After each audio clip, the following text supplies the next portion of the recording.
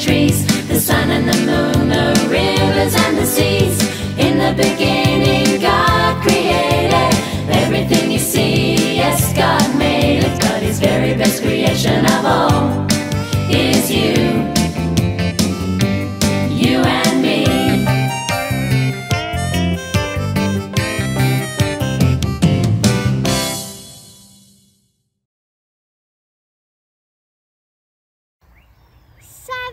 the number of completion and perfection.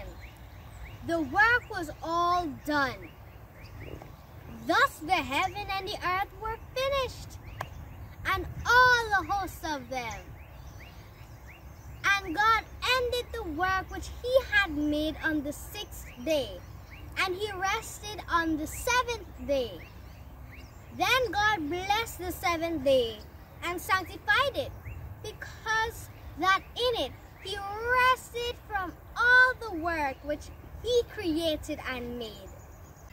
Oh, how I love that old hymn. Holy day,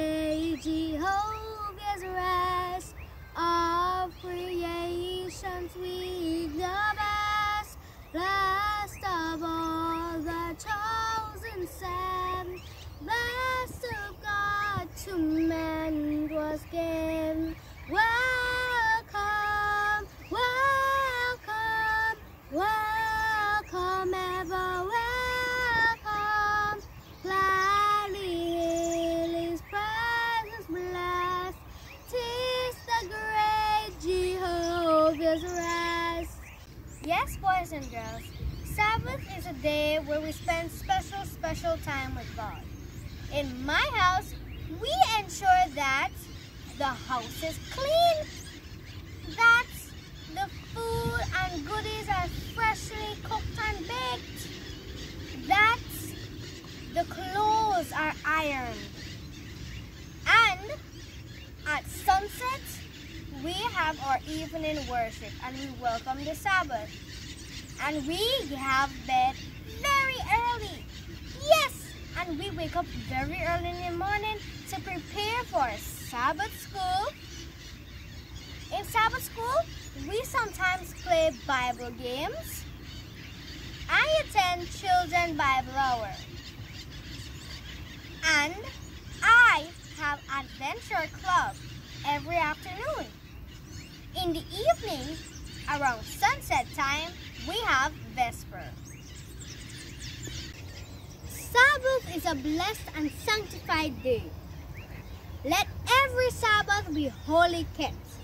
Never you go astray, doing your own pleasures or going your own way.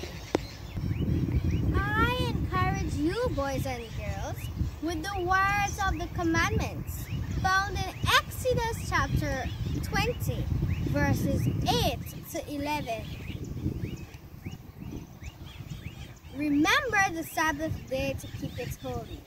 Six days shalt thou labor and do all thy work, but the seventh day is the Sabbath of the Lord thy God. In it thou shalt not do any work, thou nor thy sons nor thy daughters, nor thy manservant, nor thy maidservant, nor thy cattle, nor thy stranger that is within thy gates. For in six days the Lord made the heaven and the earth, and the sea, and all that in them is, and rested on the seventh day. Wherefore the Lord blessed the Sabbath day and hallowed it.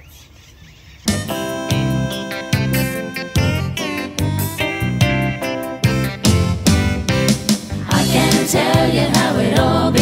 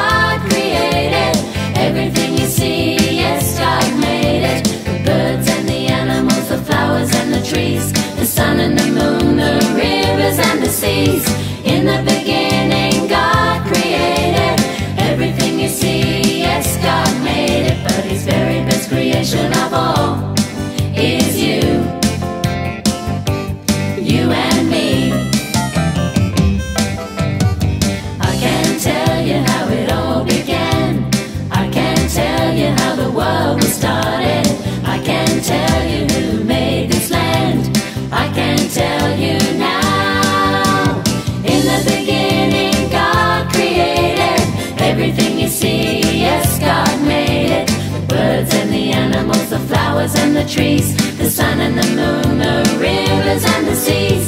In the beginning,